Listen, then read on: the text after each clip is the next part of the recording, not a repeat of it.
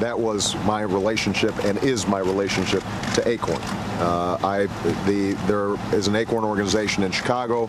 You know, they've been active as an elected official. I've had interactions with them, but they're not advising our campaign. We've got the best uh, voter registration and turnout and volunteer operation uh, in politics right now, and uh, you know, we don't need Acorn's help.